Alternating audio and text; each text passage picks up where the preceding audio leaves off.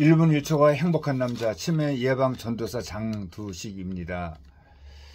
유광종의 그 차이나 별곡 그 코너에서 그 공산당의 무서운 찻집이라는 예, 주제로 또 이야기해 보겠습니다. 중국인들이 살아가는 데 있어서 필요하다고 꼽는 일곱 가지 물건이 있습니다. 연료, 쌀, 기름, 소금, 뭐 장류, 그 다음에 식초, 찻잎이다. 중국인들은 이를 삶에서 해결해야 할 일곱 가지 일이라고 부른다. 이 가운데는 그 뭐 생활 필수품으로 보기 어려운 물건들이 있다. 간장이나 뭐 된장을 가르치는 장류 그리고 식초 등은 생활 필수품이라기 하기보다는 조미품에 가깝다.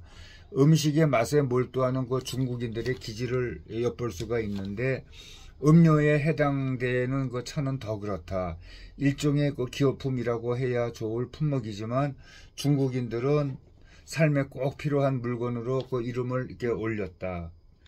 찻잎 값이 매우 비쌌던 그 당나라와 북송을 그 지난 뒤에 생긴 그 현상이라고 또 할 수가 있다.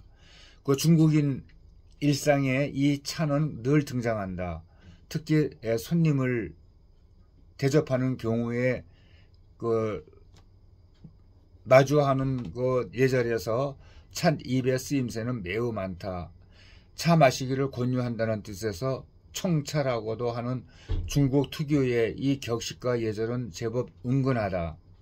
손님이 당도하기 전에 밀을, 네, 물을 끓여야 하고 도착한 손님에게는 찻잎에 종류를 또 설명을 하면서 그 진한 맛을 좋아하는지 여부 등을 먼저 물어야 한다. 이어 손님이 사용할 그 찻잔을 적당한 온도로 덮이다가 찻잎을 씻은 뒤에 그 우려 내기에 또 들어간다. 나름대로 그 인정미 넘치는 그 격식들이다. 그 뜻은 남을 공경하면서 정중하게 대접한다는 데 있다. 그러나 요즘 뭐 집권 그 공산당이 차 한 잔 마시자고 하면은 일반 중국인들은 벌벌 떤다. 왜? 불러다가 조사를 하겠다는 뜻이기 때문이다.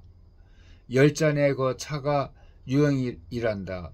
간접 행위를 포함해 국가 안전을 위협하는 열 가지 그 협의에 걸리면 공산당의 그 찻집에 초대를 받는다는 그 내용이다.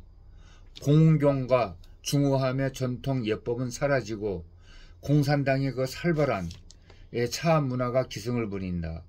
더욱 지쳐지는 중국의 어두운 그늘이다.